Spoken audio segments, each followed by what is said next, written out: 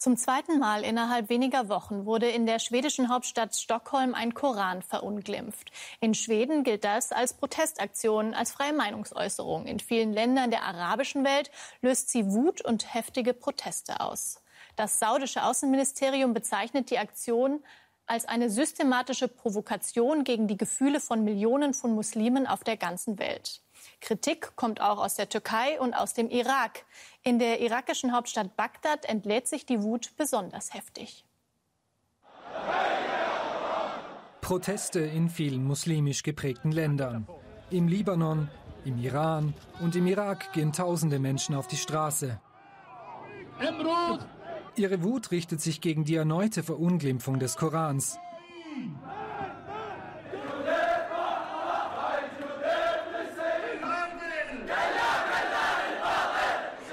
Es geht um diesen gebürtigen Iraker, der am Donnerstag in Stockholm einen Koran tritt und darauf trampelt.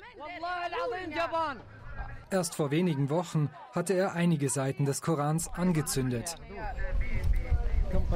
Weil Schweden die Demonstration erlaubt, stürmen Demonstranten nachts zuvor die schwedische Botschaft in Bagdad und setzen das Gebäude in Brand.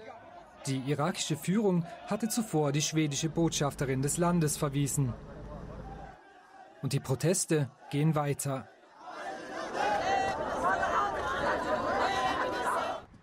Die Vereinten Nationen verurteilen die Verunglimpfungen des Korans.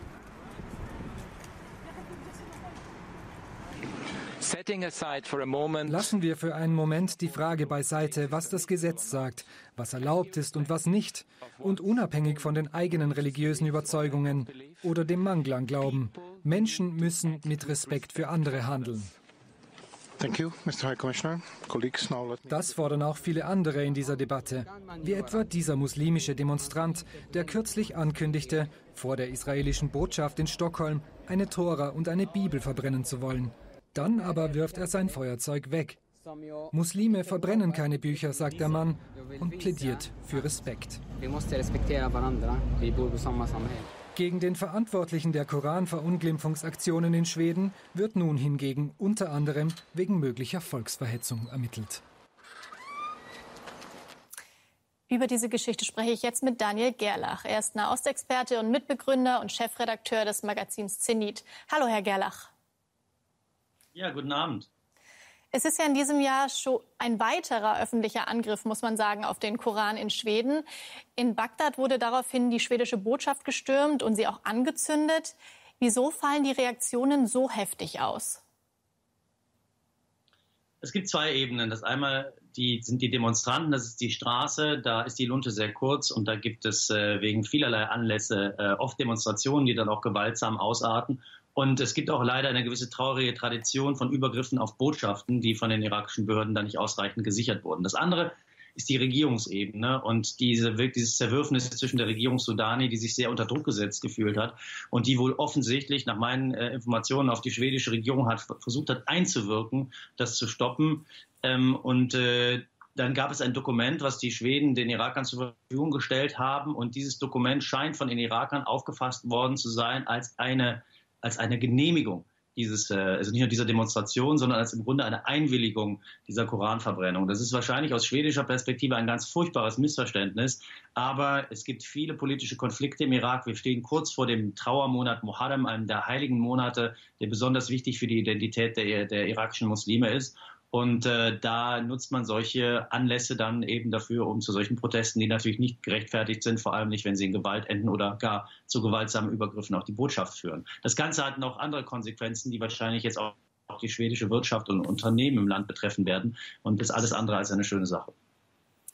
Das heißt, es geht vielleicht gar nicht generell um die Tat als solche, also das Anzünden des Korans an sich, sondern vor allem auch darum, dass diese Protestaktion in Schweden überhaupt offiziell genehmigt wurde. Verstehe ich das richtig? Ja, dieser Mensch, ähm, der nach irakischer Lesart geistig verwirrt ist. Ähm, andere sagen gezielte Provokation, möglicherweise sogar das Verhältnis zwischen Schweden, zwischen den westlichen Staaten und den muslimischen Staaten bewusst schädigen möchte. Also was er für eine Agenda hat, ist nicht ganz klar aber man nimmt es den Schweden übel und hat überhaupt kein Verständnis dafür, dass äh, eben es in einem Land möglich ist, eine solche Aktion zu tun. Es kommt ja noch hinzu, dass es jetzt nicht nur um den Koran ging, sondern auch um die Verbrennung der irakischen Flagge.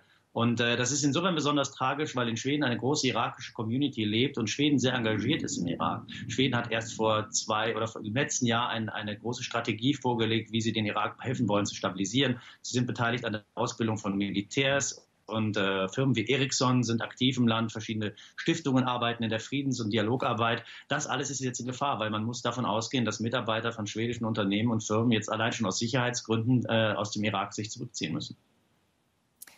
Ja, Meinungsfreiheit steht auf der einen Seite, das sagt Schweden zumindest, Respekt vor religiösen Schriften und dem Glauben auf der anderen. Äh, überspitzt gefragt, hört Meinungsfreiheit auf, wo religiöse Gefühle verletzt werden? Was ist Ihre Meinung dazu? Diese Diskussion können wir jetzt in der Kürze der Zeit nicht führen. Äh, das, äh, das, übersteigt das Format unserer Sendung hier. Aber ich denke auf jeden Fall, dass es ein sehr, sehr großes Missverständnis und Unverständnis gibt zwischen den Staaten, was individuelle Aufmerksamkeit anbelangt und auch die Freiheit, religiöse Symbole herabzusetzen. Und ähm, die Iraker haben immer wieder darauf bestanden, dass es in irgendeiner Form auch aufgrund der diplomatischen Geflogenheiten es möglich sein muss für ein Land, sowas zu unterbinden. Es gibt Länder, wo das auch unterbunden worden wäre. Da hätte man mit die äh, nationale Sicherheit gesagt, dass das nicht möglich ist und dass es die schwedischen Bürger im Ausland in Gefahr bringt. Aber eben im Falle Schwedens äh, wird dieses Gut eben höher eingeschätzt. Daniel Gerlach, vielen Dank für Ihre Einschätzungen. Danke Ihnen.